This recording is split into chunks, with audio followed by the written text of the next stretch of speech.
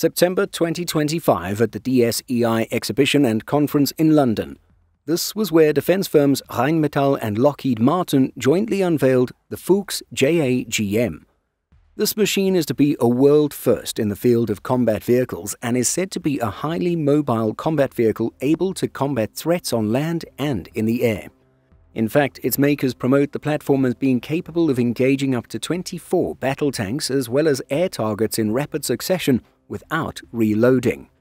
So let's take a closer look at this brand new platform for today's video. The Fuchs JAGM has two obvious parts to it.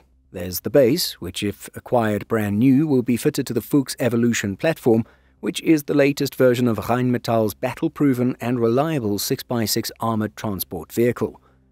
The Evolution, as the modern update to the 6x6 armored vehicle, was actually unveiled the year prior at Eurosatory 2024, a defense exhibition in Paris.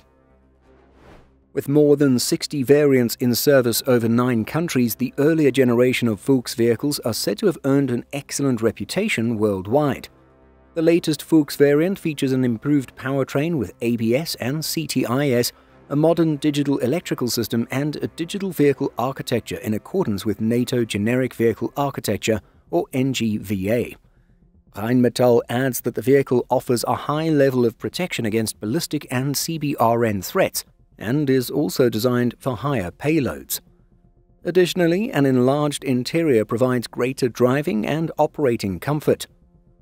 But this video has less to do with the Fuchs evolution and is more about the JAGM system, which is the other, more notable part of the combo. The JAGM initials stand for Joint Air-to-Ground Missile, and the Fuchs JAGM has 24 of these. Indeed, Rheinmetall says that it's the world's first vehicle equipped with 24 vertically launched AGM-179 Joint Air-to-Ground Missile or AGM 114L Hellfire longbow guided missiles from Lockheed Martin. The launcher is the M299 and is said to use technologies from the Mk 41 vertical launching system. The M299's mechanical structure and gas management system is said to optimize weapon density and ensure reliability and survivability in combat environments. In combination with its modern sensor package, this vehicle is said to have the ability to detect and engage multiple threats on the battlefield at any time. The multi-sensor missile can be fired in ground-to-ground -ground and ground-to-air applications, and missiles have a range of up to 16 kilometers and feature a tandem-shaped charge fragmentation warhead. Reading from the promo material, Rheinmetall says that the JAGM's multi-mode seeker features an improved semi-active laser sensor for precision strikes and a fire-and-forget millimeter wave radar for moving targets in all weather conditions. The JAGM thus offers improved performance against stationary and moving armored targets, air defense systems, patrol boats, air targets, artillery guns and launchers, radar installations and C2 nodes, as well as bunkers and other structures in urban and complex terrain. And so let's end off with some dimensions and technical data of the Fuchs JAGM variant. Its length is about 7.2 meters and its height is about 3.4 meters. The vehicle in this variant has an interior volume of 12 cubic meters and its base vehicle weight is 19 metric tons. Its engine power is 335 kilowatts and it has more than 12 hours of nuclear slash biological slash chemical filtration. Maximum speed is 100 kilometers an hour and the vehicle has a fording depth of 1.5 meters. It can accommodate up to 10 occupants. So there you have it, a new ground-based, highly mobile anti-tank slash anti-ship slash air defense weapon on the market meant to work with the new 6x6 Fuchs Evolution.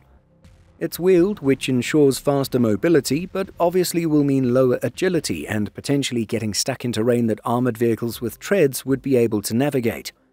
In terms of armor, there isn't a specific rating.